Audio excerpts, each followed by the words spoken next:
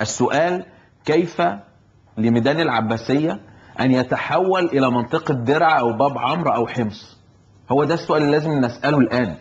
هل ميدان العباسية تحول بقدرة قادر إلى منطقة من من- مناطق سوريا وشبيحة بشار الأسد؟ كيف يحدث هذا؟ ومن الذي فعل هذا؟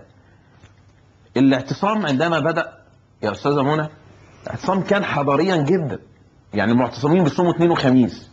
بيصلوا صلوات جماعة كلهم. آه، قيام ليل قرآن هتافات مناقشات سياسية. آه، حتى بنروح عند الأسلاك عند الجنود وبنكلمه بمنتهى اللطف وبمنتهى الأدب. آه، عروض عروض بروجيكتور لمسيرة الثورة وللانتهاكات العسكر. يعني حاجة م- ملهاش أي علاقة بالتعدي. يعني إحنا في منطقة بعيدة جدا. اللي حدث امبارح الساعة 12 ونص إنه بدأ ظهور هؤلاء. وضربهم النار من مناطق عالية من عند الكباري ومن منطقة اللي هي آه، يعني مقابلة لمسجد النور.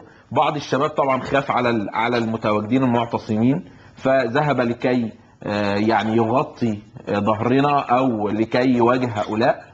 طبعا كان هناك ناس مدربين جدا ب آه، يعني كان معاهم كلاشينكوف وآلي ورصاص متعدد يعني يعني حاجة فوق الوصف. يعني أنا قلت لحضرتك أنا من مصابين مو- موقعة الجمل لم يحدث هذا على الإطلاق. أنا إصابتي كانت طوبة في راسي. يعني كان كل الإصابات إلا ما ندر كانت بالقناصة. لكن معظم الإصابات كانت لا إما بالطوب لا إما بالتعدي ببعض الزجاجات المولوتوف أو هكذا.